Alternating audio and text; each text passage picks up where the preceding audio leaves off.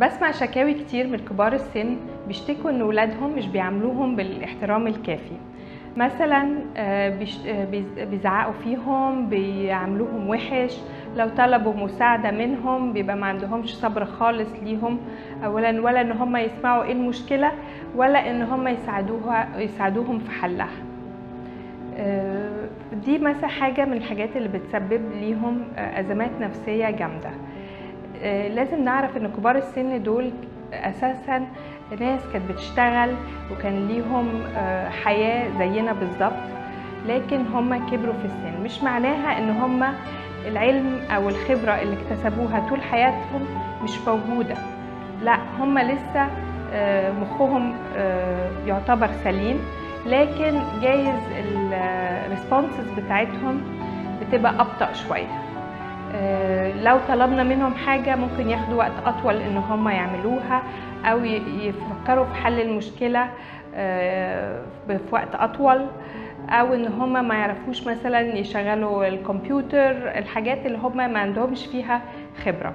فمهم جدا لما نكون بنتعامل مع كبار السن إن إحنا نتعامل ببطء ونركز معاهم ونديهم الاهتمام الكافي اللي هم محتاجينه.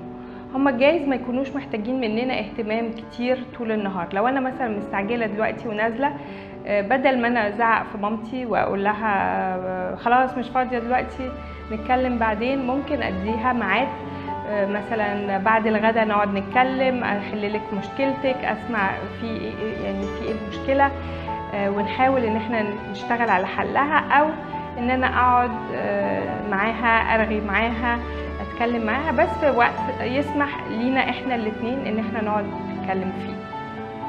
آه، الحاجة التانية كبار السن مثلا ممكن يبقوا مفيدين جدا في القعدة مع الأولاد.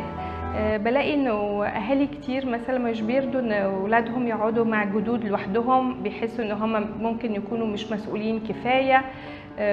مش هيهتموا بيهم كفاية ودايما الناني تبقى هي قاعدة معاهم أو الدادة آه، هي اللي قاعدة بتلعب معاهم فما يدوش مساحة للجدود أو للناس الكبيرة إن هم يبقوا حواليهم.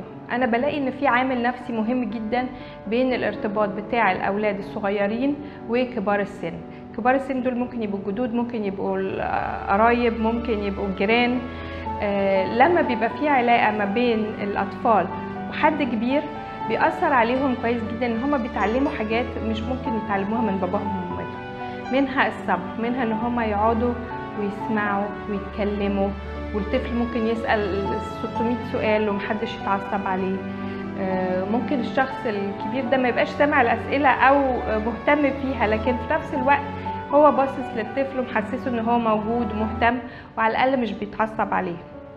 الحاجات التانية إن ممكن يبقى في إعادة تأهيل لكبار السن. يعني حد كان آه، بيشتغل مهندس أو آه، عامل أو فني أو دكتور أكيد ممكن يعمل حاجة تانية لما يطلع على المعاش.